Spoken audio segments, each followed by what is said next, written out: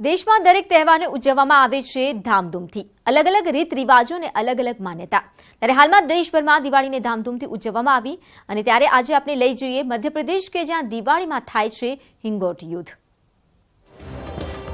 એકબીજા પર ફેંકાઈ રહેલા અગનગોળા. રાતનો અંધકાર અને માત્ર અગનગોળાનો પ્રકાશ.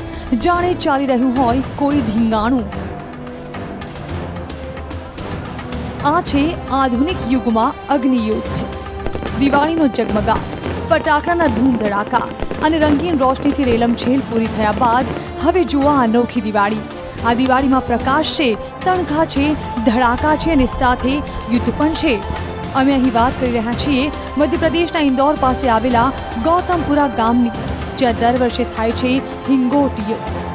આ છે મધ્યપ્રદેશના ગૌતમપુરા ગામની વર્ષો જૂની પરંપરા, જ્યાં દિવાળીના ટાણે સર્જાય છે યુદ્ધ જેવા દ્રશ્યો યુવાનો મોટી સંખ્યામાં મેદાનમાં એકઠા થઈ કંઈક આ રીતે ઉજવે છે દિવાળી सैकड़ों साल से ये परंपरा चली आई है और आपस में भाईचारे के माध्यम से ये खेला जाता है तुर्रा और कलंगी नाम के दो टीमें आपस में खेल खेलती हैं और एकता की एक मिसाल पेश की जाती है इसमें और मैं समझता हूँ कि जिस प्रकार से दो युद्ध जब होते हैं तो कहीं ना कहीं आपस में मतभेद होता है मनमुटाव भी होता है लेकिन ये एक मात्र युद्ध ऐसा है जो आपस में भाईचारे से खेला जाता है और एकता की एक मिसाल पेश करता है काफ़ी लोग घायल भी होते हैं लेकिन उनकी खुद की लापरवाही से होते हैं जो हेलमेट और ढाल नहीं लेते हैं वो लोग घायल होते हैं હિંગોટ ગૌતમપુરા વિસ્તારમાં દર વર્ષે થનારું એક પરંપરાગત યુદ્ધ છે આમ તો આ યુદ્ધમાં દર વર્ષે ઘણા લોકો ઘાયલ થાય છે છતાં પણ ગામના લોકોનો ઉત્સાહ ઓછો નથી થતો. આ યુદ્ધની તૈયારીઓ માટે ગામવાળા એક દોઢ મહિના પહેલાથી જ કાંટાના છોડમાં લાગનારા હિંગોટ નામના ફળને ભેગા કરે છે. પછી આ ફળની વચ્ચે દારૂખાનું ભરવામાં આવે છે. આ દારૂખાનાથી ભરાયેલા દેશી બોમ્બને એક પાતળી દાંડીથી બાંધી દેશી રોકેટનું રૂપ આપવામાં આવે છે. બસ પછી તો શું?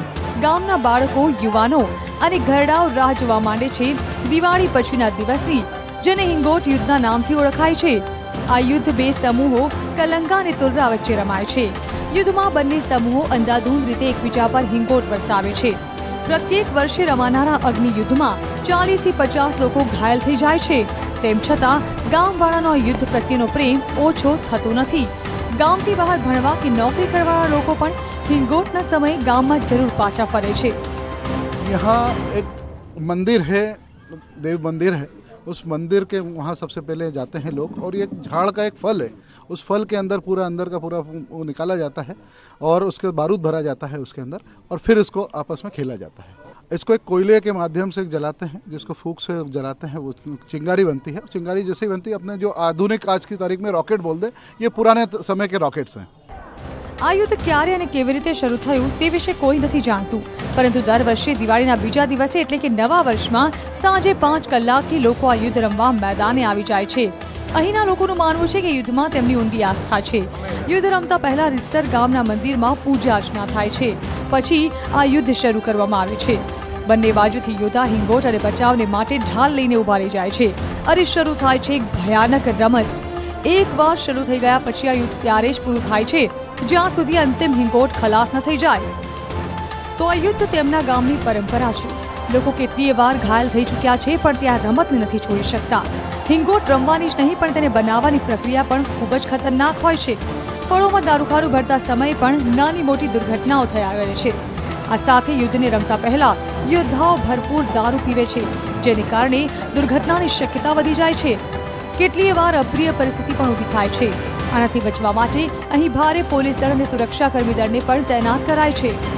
तो ये जो कहावत है आपको जैसे मैं बता रहा हूँ कि लगभग सौ डेढ़ सौ सालों का इतिहास है इसका और ये दो गाँव हैं गौतमपुरा और रुणजी इन गाँवों के बीच में एक कलंगी दल है एक तुर्रा दल है और ये दीपावली के दूसरे दिन पड़वा के दिन ये परंपरागत रूप से एक आयोजन होता है ये खेल है एक तरह का चूँकि इसमें एक हिंगोट का फल होता है जिसके अंदर का बीजा निकाल करके और उसमें कुछ गन पा, वो, वो पाउडर बारूद भरते हैं और उसको एक दूसरे पर फेंकते हैं तो उसमें लोग घायल होने की संभावना रहती है। इस बार हम लोगों ने जो है काफ़ी अच्छी व्यवस्था किया प्रशासन के सहयोग से सभी विभागों का सहयोग लिया गया तीन लेयर की हमने सुरक्षा व्यवस्था की यहाँ पर एम्बुलेंस यहाँ पर फायर ब्रिगेड यहाँ पर सारे हमारा वज्र वाहन हमारे पुलिस की तरफ से काफ़ी बल यहाँ हमने डिप्लॉय किया था और इस તો આપને આ રમતે સૌરાષ્ટ્રમાં રમાતી ઇંગોરિયાની આગની રમત યાદ કરાવી દીધી હશે